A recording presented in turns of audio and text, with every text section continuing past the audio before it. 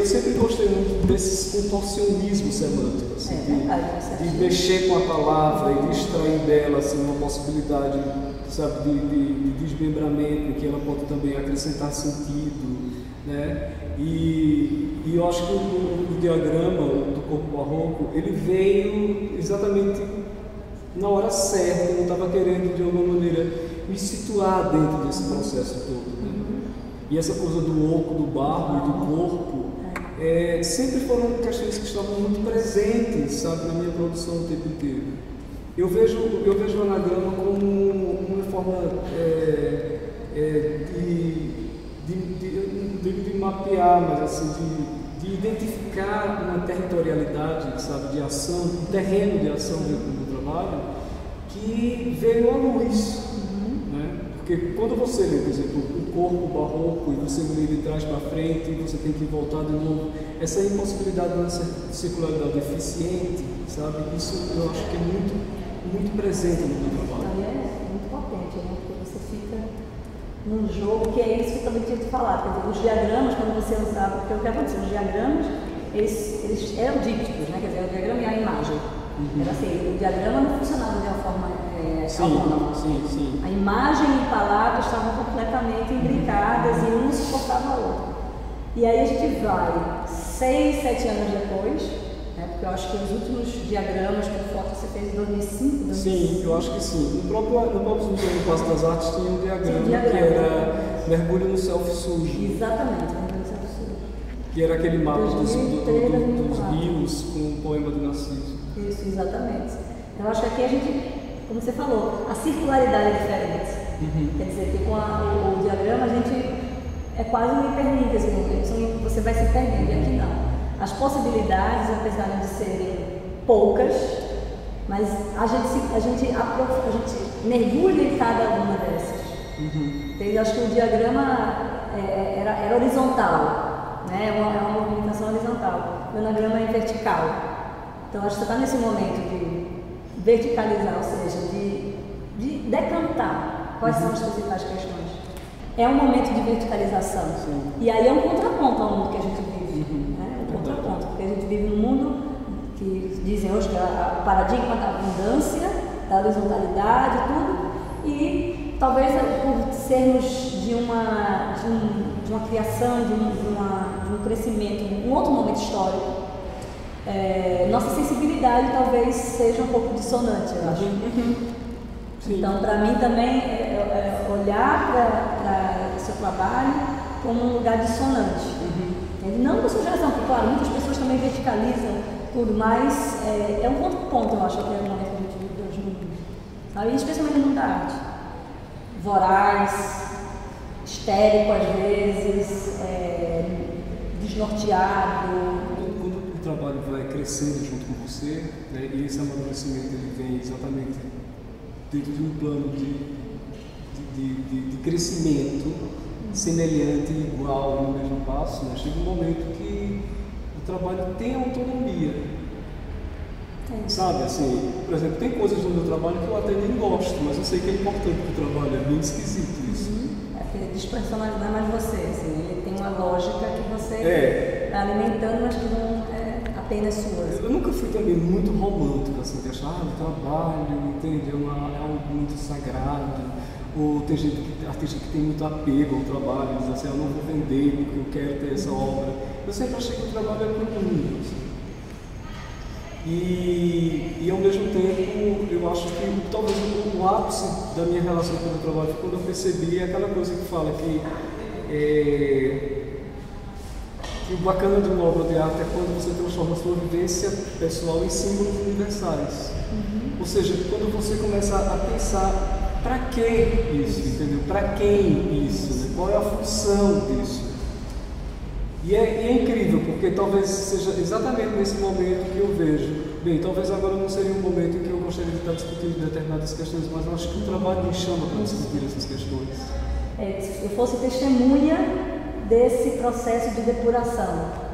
E aí, para mim, como para minha formação, acho que eu já falei isso muitas vezes, eu, como curadora, essa convivência com os artistas e estar perto e observar esse amadurecimento e tal, é, foram para mim fundamentais, na minha, minha educação, na minha formação, dentro do meu olhar, da minha forma de trabalhar e de, até de pensar o mundo. Então, é, quando eu olho para a exposição e olho para os trabalhos, eu acabo olhando para mim também, quer dizer, para você, para mim, para Recife, para o nosso contexto, para o que acontece no mundo. Como você está muito próximo, você, você fica muito impregnado né, desse volume simbólico do trabalho. né? Por exemplo, eu acho que você me ajudou muito na curadoria é, para fazer com que essa, essa diluição ela fosse, ela, ela derretesse isso do iconográfico, entende demais, assim, entende? É, eu acho que o olhar curatorial e crítico ele acrescenta muito nesse sentido. assim, ele faz, ele funciona muitas vezes como um espelho perverso. Você vê assim, ah, não, realmente, aqui eu errei, eu, eu, sabe, na dose. Assim. Por que, que existe essa densidade no meu trabalho? Essa coisa com a morte, com o corpo, no seu estado mais cru, sabe? Eu estava dizendo para a Marília, eu disse assim, eu acho que fotos, ela tem uma coisa gosmenta, ela tem algo... Aí eu lembrei daquele de tudo que escapa, daquela curadoria lá do, que você fez lá do Museu do Estado. Ele me escapa, era como se fosse algo, sabe, oleoso, assim, a imagem me escapa, entende? E ao mesmo tempo tem um cheiro, assim. E isso eu vejo que tem a ver, obviamente, com essa proximidade do artista com a obra, que acaba virando aquela coisa da osmose, né, que é tudo coisa só, não sei. E é esquisito, porque você se reconhece no que faz, mas no, instante, no, no entanto existe um distanciamento. No momento em que você diz, não, isso é para o mundo, né, isso tem uma função que vai além do meu ego, da minha vaidade, de uma construção que é só minha.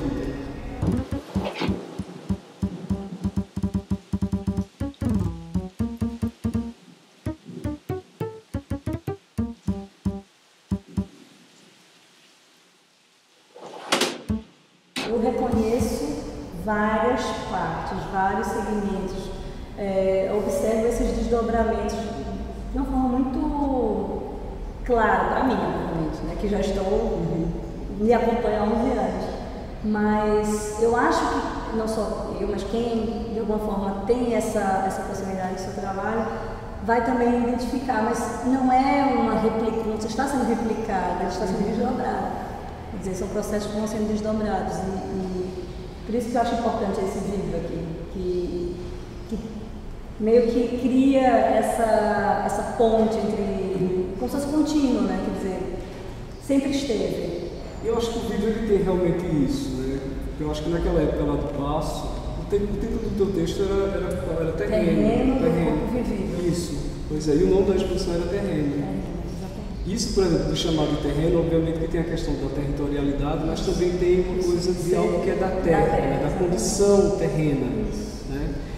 E esse vídeo, ele tem isso de uma forma muito forte, né? Não só por ele ter sido feito dentro dessa coisa da Lowtech, né? Onde, Caseira, é, caseira, mas também pela própria química do trabalho, né? Essa coisa do chá cerimonial que você fala e, e essa experiência lisérgica e de como, por exemplo, o corpo, ele, ele, ele, ele, eu vejo como um instrumento dessa da ideia e da emoção e desse sentimento. Né? Tanto que eu olho para o vídeo era como se não fosse eu, entende? Como se eu tivesse emprestado meu corpo para aquela situação ali. né? E eu lembro que o que me fez pensar mais nisso, é, na nova arte moderna, foi exatamente a ideia da construção da imagem dentro daquele plano estático, entendeu? Enquanto eu estava filmando, eu via muito, muito fortemente uma construção modernista do corpo. Sabe, aquele corpo que ele se abstrai e Que que é depois ele se concretiza, entendeu? Sim. E e eu acho que teve muito a ver com isso também. Mas eu acho que esse vídeo, sobretudo, ele tem uma importância muito grande que é nessa exposição, que é lembrar, né? ele tem essa função, acho que de lembrar. toda exposição de um artista que, é, que tem essa espécie de. que, que, que o trabalho vai se imbricando é uma retrospectiva, quer dizer, porque você sempre está na verdade, agregando novas questões ao que já existia. né? Então, esse especialmente, quer dizer, como se fosse uma mini retrospectiva. Assim, Nós podemos observar as questões que sempre tiveram pulsantes no seu trabalho se manifestaram, como a finitude, como você falou, a morte, a impermanência, a permanência, a ambiguidade. É, você falou, eu acho interessante, estou diante aqui do, do, das caixas de som mudas. Fala para quem? Fala o quê? Né? Quem vai ouvir?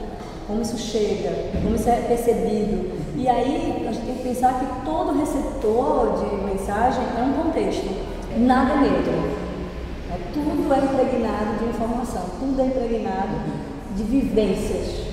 Então, quando a gente olha para esse seu trabalho e há uma mudez, há um silêncio, há uma limpeza, não, na realidade, pelo menos para a gente, quando a gente conversa, né, é cheio de ruído, de significado, né, denso, e aí eu acho que é aí onde chegou o barroco. A imagem ela pode ser eficiente no sentido imagético, obviamente, assim, do confrontamento do olho com, a, com aquela construção ali. Mas ao mesmo tempo ela é ineficiente, porque você não ouve, você não sente o cheiro, entende? Então essas limitações da imagem, eu acho que eu sinto isso muito fortemente nesse trabalho. Eu nunca vi a fotografia no meu trabalho como, como um suporte, mas eu acho que a fotografia ela sempre foi ela, ela sempre foi importante no sentido de, registrar algo que só a fotografia poderia fazer. Né? Por exemplo, tem, tem trabalhos que você resolve com desenho, com vídeo, tem trabalho que você resolve com fotografia. E a fotografia eu sempre vi, tanto que muita gente não entendia que alguns trabalhos meus não, não tinha a necessidade da, do preciosismo da imagem. Né? Que até eu chamo de pós-performance, que são exatamente os registros daquelas performances em audiência. Né? Mas que eu, eu acredito que a, a, contemplação e a visualização de uma obra, ela também pode ser uma ação performata. Eu sou de fato muito fascinado pela fotografia, mas eu acredito que a fotografia, por mais sofisticada que ela seja, como nesse caso, de qualidade e tudo, mas ela ainda continua funcionando no meu trabalho como um registro dessa, desse momento que só poderia ser feito com a fotografia. Eu acho que aqui a gente tem densidades de registro, né? Quer dizer, fotografia dá uma temperatura de registro. O vídeo é também um registro e o desenho também é um registro.